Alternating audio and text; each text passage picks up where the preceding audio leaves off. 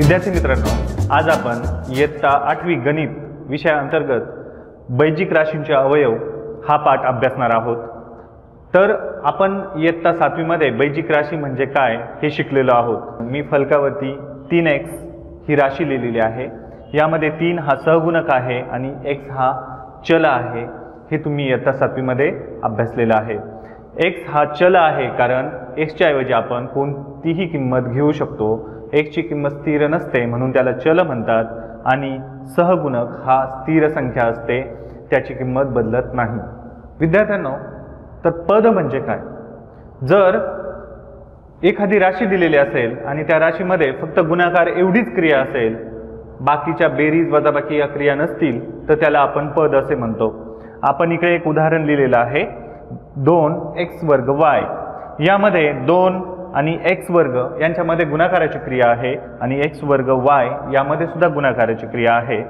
या दुसऱ्या उदाहरणामध्ये सुद्धा तीन एक्स आणि वाय वर्ग यामध्ये फक्त गुणाकाराचीच क्रिया आहे. म्हणून दोन एक्स वर्ग वाय आणि तीन एक्स वाय वर्ग ही दोन्हीही पदे आहेत. इंग्रजीमध्ये त्याला टर्म असे म्हणतात. आत्ताच आपण पद म्हणजे काय हे बघितलं.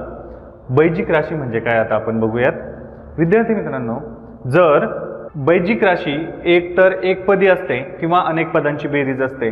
आपण आत्ताच पद म्हणजे काय ते बघितलं. जर ते एकच पद असेल किंवा दोन किंवा अधिक पदांची जर ती बेरीज असेल तर त्याला आपण बैजिक राशी असं आपण म्हणू शकतो. इथे मी काही उदाहरणे लिहिलेली आहेत. तीन एक्स वर्ग वाय वर्ग हे एकच पद आहे. ही एकपद राशी आहे आणि इकडे तुम्ही जर बघितलं तर तीन एक पदांची इथे बेरीज दिलेली आहे. एक पद राशींची बेरीज दिलेली आहे. त्यालाच एक पदी असे सुद्धा म्हणतात. म्हणजे तीन एक पदींची बेरीज जर दिलेली असेल तर ती बैजिक राशी होते.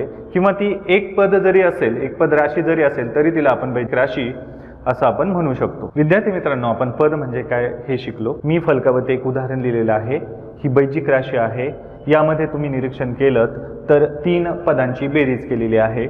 चार एक्स वर्ग हे पहिले पद आहे. वजा दोन वाय हे दुसरे पद आहे आणि पाच छेद सहा एक्स झेड हे तिसरे पद आहे.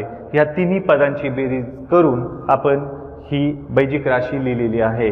तर यामध्ये तुम्हाला बेरजेची क्रिया तिन्ही ठिकाणी दिसत नाही आहे दुसऱ्या ठिकाणी तुम्हाला वजाबाकीची क्रिया दिसत असेल. परंतु आपण शिकलेलो आहोत की आपण वजाबाकी करतो म्हणजे पहिल्या संख्येमध्ये दुसऱ्या संख्येची बेरीजग्रस्त संख्या मिळवतो. म्हणून आपण टेक्निकली तांत्रिकदृष्ट्या ही तिन्ही पदांची बेरीजच आहे असं आपण म्हणू शकतो. विद्यार्थी मित्रांनो आपण बैजिक राशी म्हणजे काय ते शिकलो.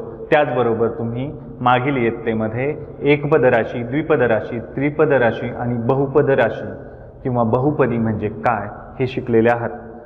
तर आता आपल्याला वर्ग त्रिपदी म्हणजे काय ते पाहायचं आहे. ए एक्स वर्ग अधिक बी एक्स अधिक सी या स्वरूपात जी बैजिक राशी लिहिलेली असते तिला वर्ग त्रिपदी म्हणतात. म्हणजेच काय?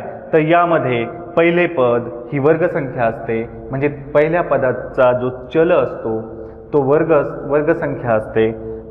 मधल्या पदाला सहगुणक आणि चल असतो. परंतु तिसरे पद हे स्थिरपदी असते. म्हणजे तिथे चल नसतो. तर ही मी इकडे दोन उदाहरणे लिहिलेली आहेत. एक्स वर्ग अधिक पाच एक्स अधिक सहा. ही सुद्धा वर्ग त्रिपदी आहे. याच्यामध्ये तीन पदे आहेत. त्रिपदी या शब्दावरूनच तुम्हाला समजत असेल की याच्यामध्ये तीन पदे असायला हवीत. आणि पहिले पद त्याच्या चलाचा वर्ग असायला हवा आणि तिसरे पद जे आहे किंवा अंत्यपदी म्हणतात त्याला त्या तिसऱ्या पदाला चल असता कामा नये ते स्थिर पद असायला हवे. ते फक्त संख्या असायला हवी. तिथे चल असता कामा नये.